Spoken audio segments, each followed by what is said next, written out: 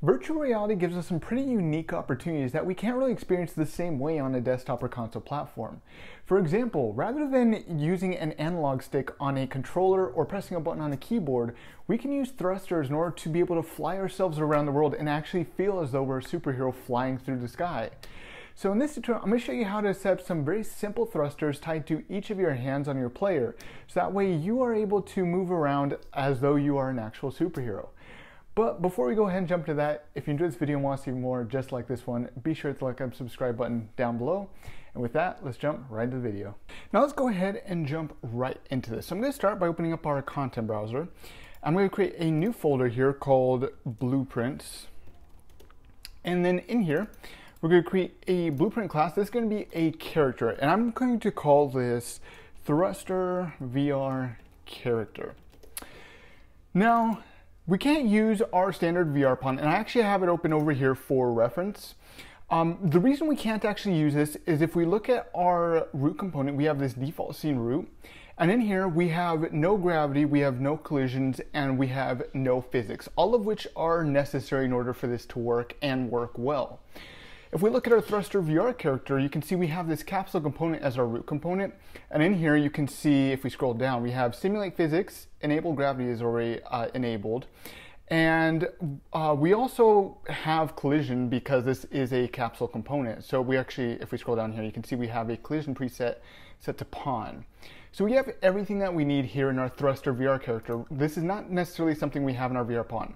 Now, you can certainly modify what I'm going to be doing here to our Thruster VR character or uh, uh, modifying the scene root in order to, at the release attempt, to get the same effect. But I personally like to use a thruster, or I personally prefer to use a standard character as opposed to a pawn for something like this. So with that, let me go and close that VR pawn because we're not going to need that anymore. Let's go ahead and get started here. So I'm going to in our capsule component, we'll start here. I want to set our capsule radius and our half height each to one. The reason I'm doing this is because we still need this to be there so that way we're able to collide with the environment. But if we have it set to some outrageous height or something like that, then it's actually going to raise our player up and it's going to make them appear much taller than they actually are. And it can do other weird things as well. So I, I usually just set that to a standard one by one. Uh, coming down here, as I already mentioned, we have to simulate physics.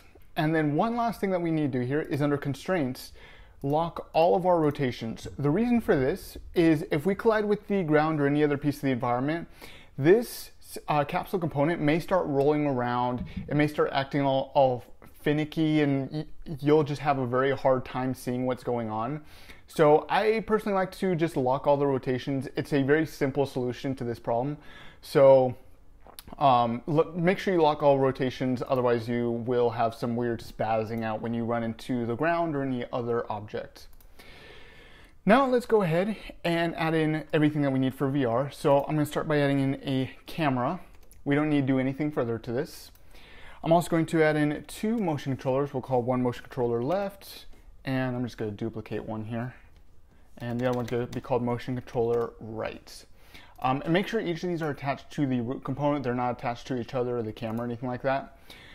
And then moving on to our motion controllers here, I'm going to set a display device model for each of these. I'm going to set this to a Vive pre-controller mesh. This can be whatever you want. This is just what I like to use. So that way I can visibly see where my controllers are in the, in the uh, level. Then for our motion controller right, we need to come down here and set our motion source to right. Uh, we don't need to do the same for motion control left because by default it's already set for left.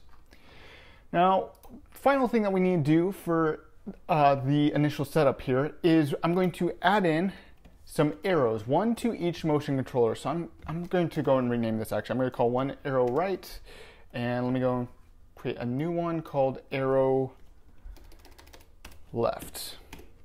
Now the reason for these, I'm gonna go and click on both of these. The reason for each of these is this is going to point in the direction that we're going to move in. So as you can see in this current uh, in this current scenario, it's actually going to propel forward uh, in whatever direction we're pointing our motion controller in. Now, if you want, you can modify this. Maybe you want to have it point down in this direction. You may want to have it point up. That's entirely up to you. I'm just going to keep it nice and simple. We're going to point it we're going to make the arrow point along with our motion controller.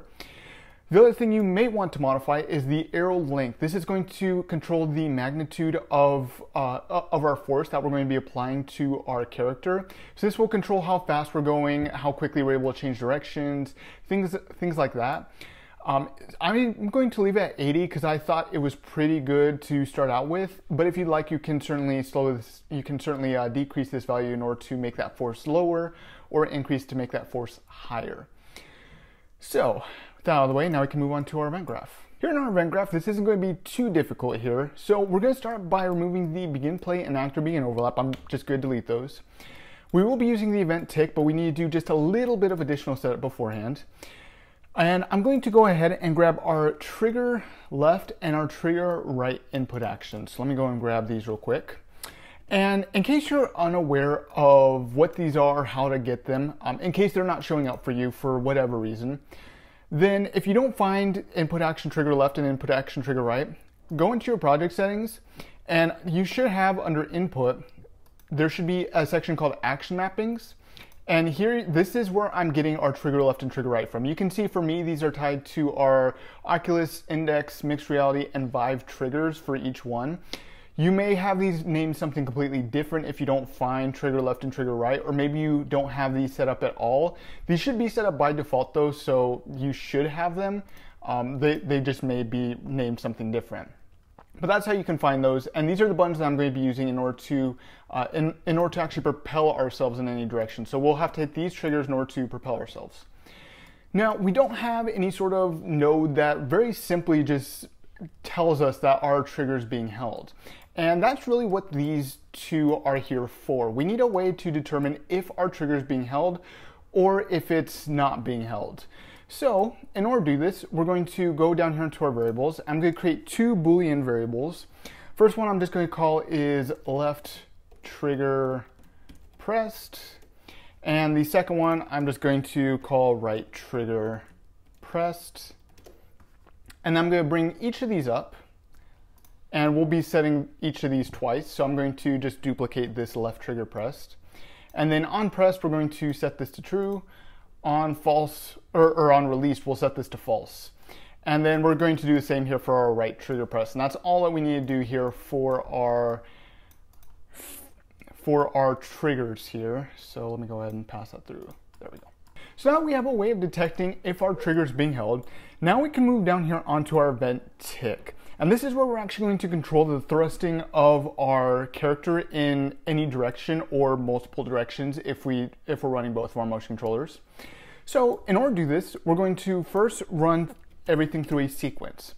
This is so we can split up uh, each of our thrusters, one for each hand, and we can allow for ourselves to apply a force in two directions rather than just in one using each of our motion controllers.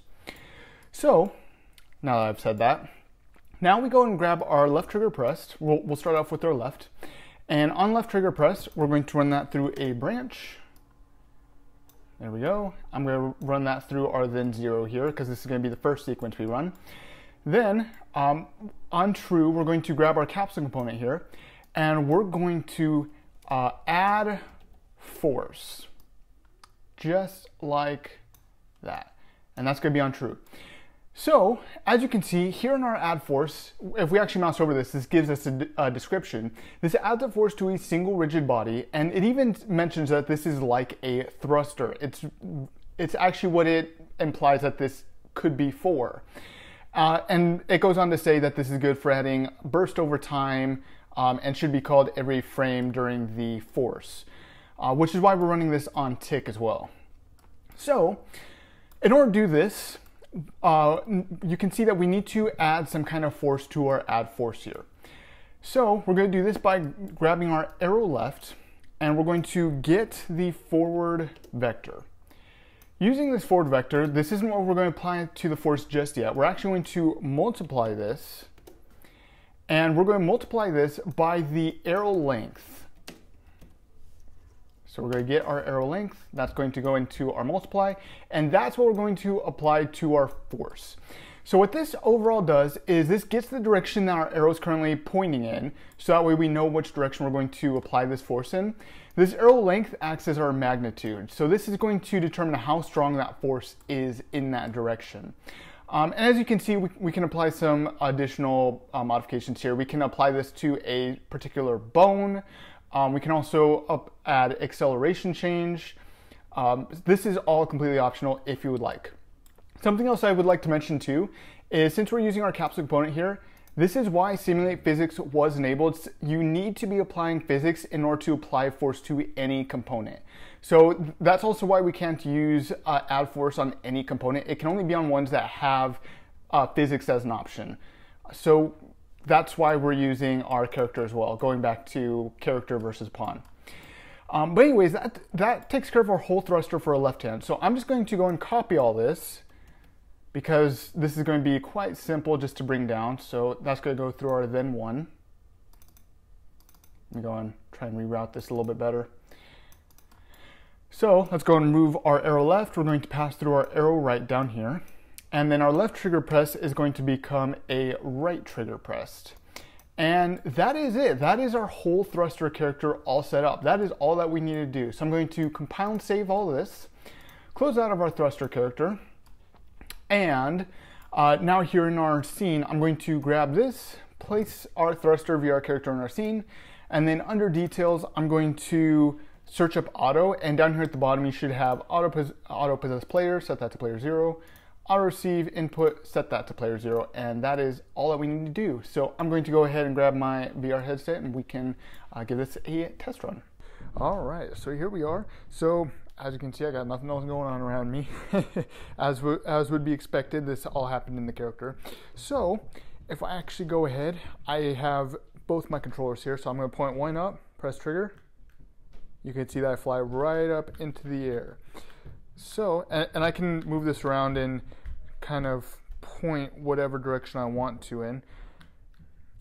So there we go. And then, ooh, as you can see, I can do that with my other controller as well. And I can do with both at the same time. Let me see if I can go straight up, pointing each of them kind of at an angle. Hold on.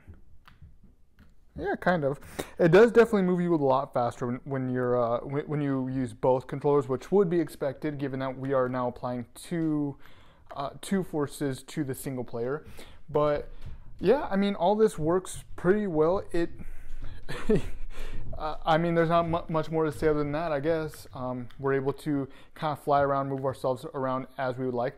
Um, as I had mentioned before as well, part of the reason we applied the rotation constraints to our player is because when we hit the ground, it'll kind of start doing all this weird, finicky rolling around stuff, which just doesn't look right and makes, and it's just very disorienting too.